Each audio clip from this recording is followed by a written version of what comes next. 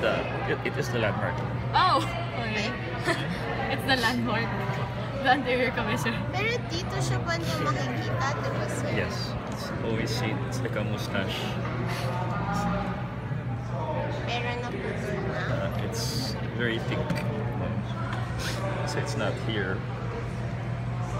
So sir, pwede po bang yun? Actually, this Yun. white matter here is really discolored na yung brain.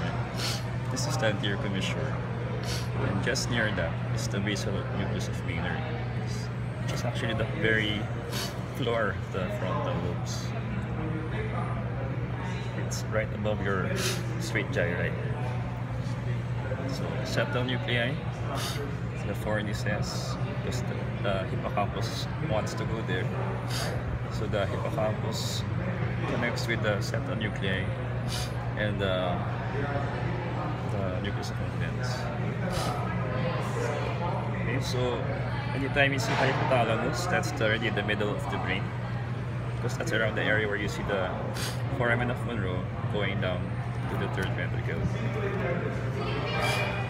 Sir, saan dyan ulit yung hypothalamus? The hypothalamus is anything below The thalamus. anytime you see mammillary bodies, that's hypothalamus actually. Yet they like to call it a different part because it stands out, but it is actually part of the hypothalamus. Okay. Okay. So this this patient had a stroke in this area here. Oh! Because if you compare it, touch it, this part, this is very soft. It's like it's going to disintegrate if you press anymore. So unfortunately, this is the supplied by the middle cerebral arteries, the lenticulostriate arteries, and it's right here. Very prone to strokes. So it is always in this area, these two slices, where we'd like to point out the internal capsule, the insular cortex. So between this and this, is the cut.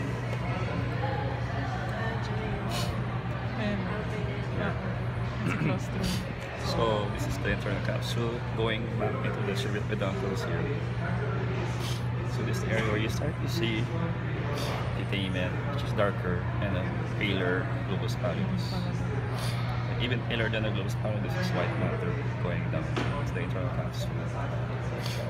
Then the gray matter again alongside the lateral ventricles, which is your caudate.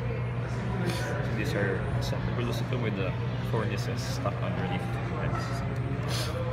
So hypothalamus because you have mammillary bodies there. You see the beginnings of the hippocampus here compared to here where it's amygdala. Mm. So you see the difference. So it wrinkles here versus here it's just gray. So between this face and this face, this is posterior because you have Posterior. midbrain Such an here. It's the next here.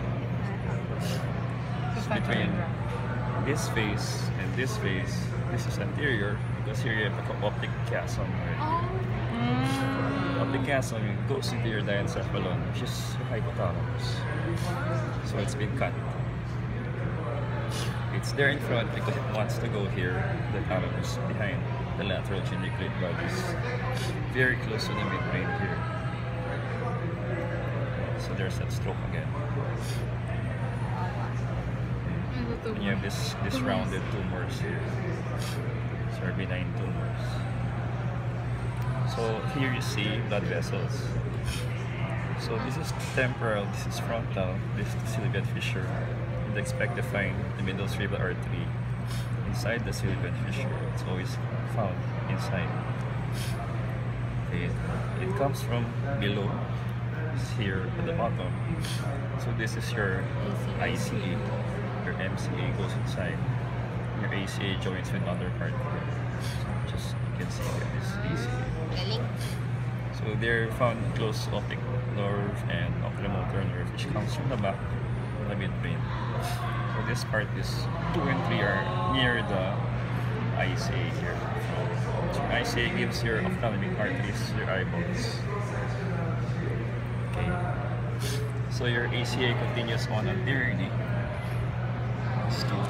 They'll follow the shape of the corpus callosum into up here.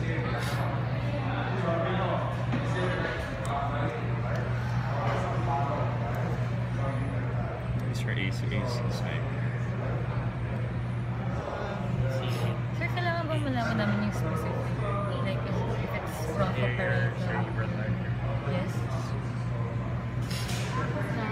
So, Ano? Ay, no. you want to look at white matter. This white matter here, whereas all white matter is the centrum semi-ovale. Semi-oval. The semi-oval, which becomes your corona Corona radiata radiata. when there are the lateral ventricles. So this part, your corona radiata.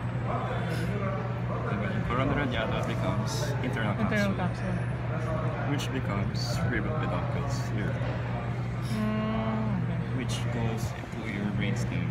So let's fix the brainstem.